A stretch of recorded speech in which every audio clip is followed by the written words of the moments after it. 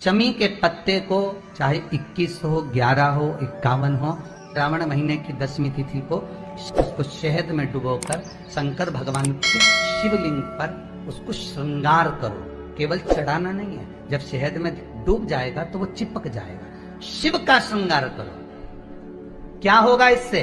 तो लिंग पुराण कहती है, नर्मदा पुराण कहती है शंकर का जब हम शमी के पत्ते को शहद में डुबोकर श्रृंगार करते हैं, शंकर कहते हैं, इसने मेरा श्रावण महीने में श्रृंगार करा है तो क्यों ना मैं भी इसका धन का श्रृंगार कर इसको कर से मुक्त कर दूँ, तब कर जा चुका ये केवल श्रावण के महीने में किया जाता है। श्रावण की दसवीं, चाहे उजाले की कर लो, चाहे अंधेरी की कर लो। श्री शिवाय नमः साथियों, चैनल को सब्सक्राइब नहीं किया तो ज़रूर कर देना। पंडित प्रदीप मिश्रा जी, जितने उपाय अपनी कथा में बताते हैं, आपको अपने इस चैनल के माध्यम से मिलते रहते हैं। अगर कर्ज से परेशान हो, कर्ज नहीं उतर रहा है तो सिर्फ़ सावन माह की दसवीं तिथि को ही यह उपाय किया जाता है, चाहे उजाले की दसवीं पे करें, चाहे अंधेरे की। सावन मास की जो पहली दसवीं आ रही है, वह है कृष्ण पक्ष दशमी आएगी, तीस जुलाई की।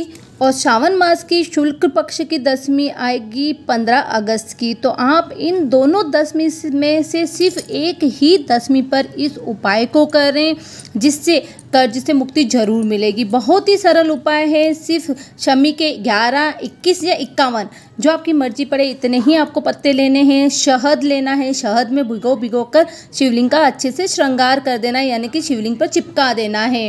नाम व गोत्र बोले बाबा से विनती करें कर्ज से मुक्ति ज़रूर मिलेगी धन की प्राप्ति होगी क्योंकि धन की प्राप्ति होगी तो ही कर्ज से मुक्ति होगी।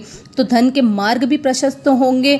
तो ये छोटा सा उपाय सिर्फ़ श्रावण मास की दसवीं तिथि या तो उजाले की करो या अंधेरे की? दोनों ही तारीख आपको बता दी गई है। एक पर इस उपाय को ज़रूर करें। चैनल को सब्सक्राइब करें, वीडियो को शेयर करें। हर हर महादेव। श्री शिवाय नमस्तुभ्यम।